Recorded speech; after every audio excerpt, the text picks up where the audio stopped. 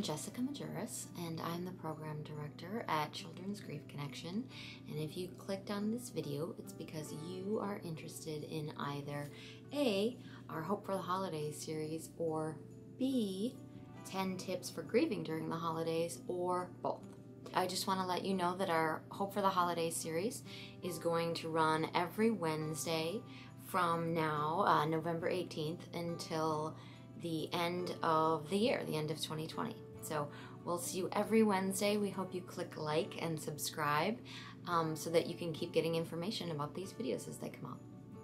So let's get started. The first thing that you need to know is just acknowledge that the holidays are going to be different and that they're probably going to be tough. Now, this is different across the board, right? Because with the pandemic, everybody's holiday is going to be a little different. Um, and then add grief to it, and you're looking at a very, very different holiday. Um, just saying it's going to be different and it's going to be tough um, will help, will actually help. Um, just know that you can do hard things. We can do this. Hard things are hard, right? Okay, two.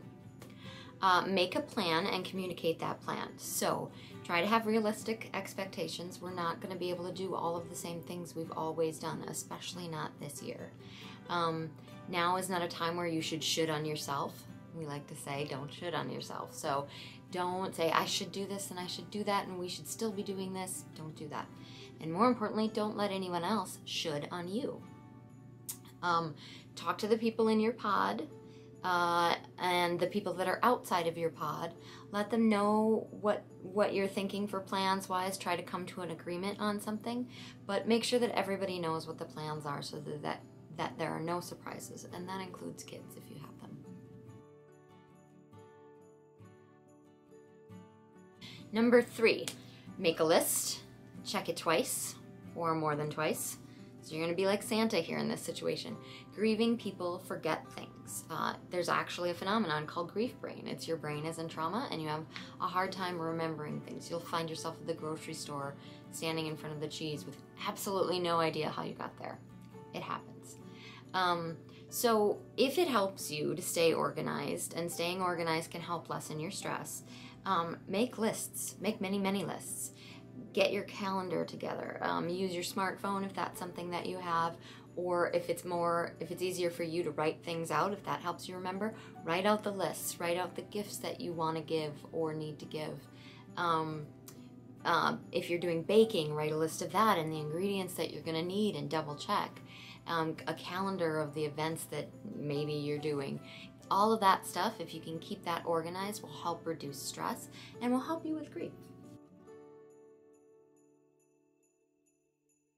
Number four, traditions can change or not. It's kind of up to you.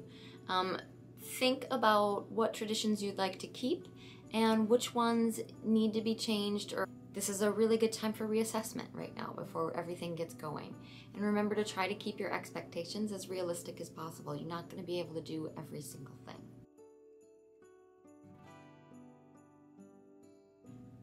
Number five, talk to kids. If you have kids in your life, talk to them. Let them know um, what might look different this year. Let them know what you're going to try and keep the same. Um, and let them know that their feelings during this time are okay. If they're sad, that's okay. If they're happy, if they're excited for Christmas or Hanukkah or what or Thanksgiving or whatever's coming up, that's okay too. It's okay to be happy during this time too. It's just important to keep communication open with them and let them know, you know, we know things are different, but talk to me. Number six, find yourself an elf, or even better, elves. Uh, even Santa has his own crew, right? So don't be afraid to ask for help when you need it, whichever, whatever kind of help that may be. Number seven, all right, mind the booze and the food. So this is a typical time of year to overindulge, right? Um, we're used to all the holiday drinks and all of that food and the baking and all of the, you know, the good foods and the comfort foods, and it's, you know, we're used to that. Um, you can when you're grieving the the need for comfort and the need to and the tendency to over overindulge is even greater. Um, while that may feel really good in the moment while you want to just take down a pint of eggnog or whatever um, understand that sugar crashes are real and so are hangovers. So try to try to keep pay attention to overindulging if you can. Number eight okay. Uh, it's okay to cry. People think that, that, you know, they shouldn't let children see them cry or um, they shouldn't let anyone see them cry or people in their family think that they should be over their grief by now. Uh, that's not a thing. Um, your loss is real and no matter how much time has passed, not having your loved one during the holidays can hurt. Um, go ahead and have a cry. Um, sobbing actually releases oxytocin and increases oxygen into your brain. Um, they found out that crying is actually pretty good for you. Um, it's okay for kids to see you cry. It's okay for them to know that you're sad and why you're sad. And if they want to, it's okay to let them comfort you. It's okay to let them know that adults have emotions too. Number nine, it's okay to enjoy yourself. Um, it's okay to cry and it's okay to be happy during the holidays if you are. If you find yourself in a happy moment, go ahead and be happy. Memorize that moment if you can and be grateful for that moment. That'll certainly help you in your healing. But just know that you don't have to be sad during the holidays. It's okay to be happy and it's okay to enjoy yourself. And number 10, this is a big one, okay? This is one, whether you're grieving or not, we all are gonna have to do this year. Um, give yourself and give the others in your life some grace. Um, this is a hard time for everyone normally, and now we're in a pandemic, which makes it really hard for a lot of people. Um, and then you yourself are adding grief to that equation, and the people in your life are probably adding grief to that equation too. That's a lot.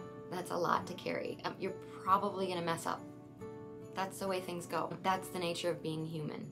People around you will probably mess up too. In fact, there's a good chance they're going to say the wrong thing or do the wrong thing. Try to give yourself and the people in your life a little bit of grace and let some things just go and say, you know what, it's the holidays. That's the way it goes. This is hard, but like one of my favorite authors, Glennon Doyle, says, we can do hard things. We're here to help. So go ahead, like I said before, shameless plug right here. Hit that like and subscribe button. We'll have videos every Wednesday that are gonna help address some of the things that a lot of our families talk about they need help with during the holidays. So we'll see you next Wednesday. Bye.